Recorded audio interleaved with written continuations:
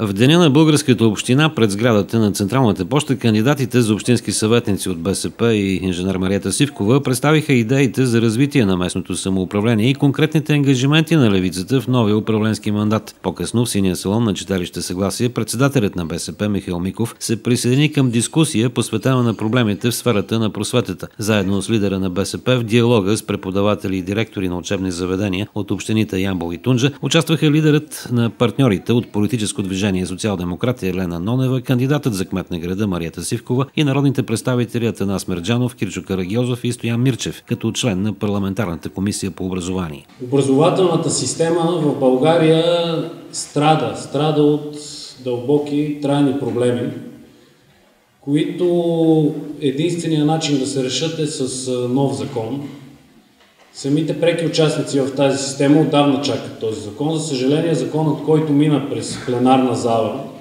закона за предучилищното и училищно образование, няма да реши нито един от сегашните проблеми, а ще създаде допълнително много наброй. Образованието докосва всеки един от нас не само директорите, не само преподавателите, не само родителите, но и учениците, и, и техните баби, техните семейства. Абсолютно всеки един от нас е свързан по един или по друг начин с образованието. Защо според мен е един от най-важните закони, даже след Конституцията може би е най-важният закон за страната, защото една държава, как, каквато сме ние в демографска катастрофа, единственият начин да се излезе оттам е чрез децата, чрез образованието, което им даваме. Симпатизанти, активисти на левицата и много граждани се събраха при вечер в голямата зала на община Ямбол на предизборна среща с хората от предизборната листа на социалистите в града. Ямбол има нужда от промяна с ляво управление, за да продължи уверено напред, бяха категорични ораторите на сцената. През последните 8 години на власт в Ямбол е политическа партия ГЕРБ. Всички сме наясно, че този политически сериал приключи. Всички сме наясно, че политиката на ГЕРБ в Ямбол фалира. Всички сме наясно, че Ямбол е в морална криза в управлението. Станахме свидетели на всепозволеността като стил на работа. Дошъл е моментът, точно в този месец, ние като достойни ямбулци, като родители, като активни хора, да кажем край на това свободно падане, да кажем заедно, че не искаме повече да продължаваме в тази посока. За 8 години ГЕРБ доведе Ямбул до економически застой. Доведе до напускане на младите хора от града.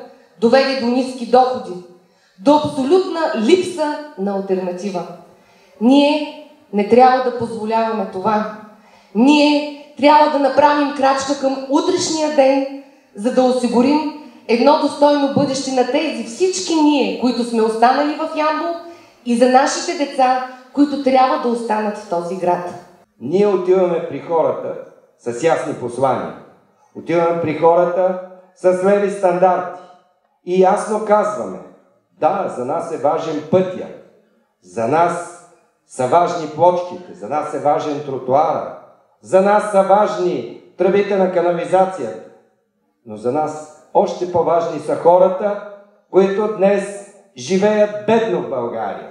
Хората, чието деца не могат да ходят на училище. Хората, които не могат да се лекуват, дори когато са заплатили здравното си осигуряване. Хората, които търсят препитания зад граница и повеждат със себе си децата. Днес на България, на Ямбол е нужна друга местна власт. Местна власт чувствителна към проблемите на хората. Кметове, които могат да намерят средства за безплатни детски градини. Кметове, които държат сметка, когато искат от общинските съвети увеличение на данъците, кой и от какви доходи плаща тези данъци. Ето за това аз съм тук с вас. Тук сме с моите другари, за да подкрепиме БСП в Ямбол и нашите партньори от левицата. От истинската левица. Да подкрепиме Марията Сивкова. Да подкрепиме нашите прекрасни общински съветници, които са доказали в годините, че отстояват интересите на хората. Защото Ямбол има нужда от друга местна власт. Ямбол има нужда от друг кмет, който не само да се разхожда между първа, втора и трета инстанция заради обществените поръчки, които провежда. Ямбол има нужда от местна власт с човешко лице. Това е Мариета Сивкова. Това са съветниците от Българската социалистическа партия, които дават и могат да дадат друга политика за промяна на Ямбол. 8 годишното управление дясно на ГЕРБ да бъде сменено. Управление, което е управление на плочките и бетона, управление на освояване на средствата от европейските фондове безотчетно и на всяка цена, управление на повишените данъци и създаването на нови, управление с пренебрежение към човека и към неговите проблеми. Управление, което направи общината бастион и гражданина няма достъп до кмет и администрация. Време е, време е да дойде лявото управление в Ямбол.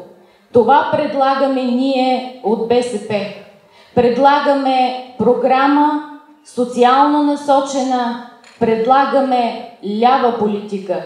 Предлагаме да намалим данъците и таксите, ще създадем облегчения за младите семейства, ще премахнем таксите в детските градини и в детските ясли, ще има за децата безплатна млечна кухня, ще създадем солидарен фонд за скъпоструващи лечения, ще изградим общински културен център, ще решим проблемите на всеки един от нас, защото социалната политика е политика насочена към хората, политика насочена към семейството, политика насочена към младия активен трудещ се, политика насочена към пенсионера.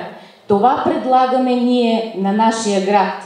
Нека, скъпи приятели, мобилизираме цялата си човешка енергия, за да реализираме тези наши желания. Ние сме убедени, че с лявата политика, която Мариета Сивкова и отбора от кандидати за общински съветници ще следва, действително ще бъде альтернативата на образованието, на културата и на всичко социално в досегашната политическа управленска практика на ГЕРБ. Позволи ми да ти пожелая много хъс, много работа, защото остават още 8-10 решителни дни, които ще ни бъдат нужни, за да убедим колкото е възможно повече ямбулски граждани за победата на левицата, на БСП и за успеха на град Ямбул. Заповядай да си живе и здрава! Предизборният щаб на социалистите подари на множеството в залата изпълнение на Нора Кера Иванова, Кристина Иванова, Станислав Сланев, Стенли и Петя Боюклиева, а общоградската среща завърши с моя страна, моя България и надеждите за по-добро бъдеще на града.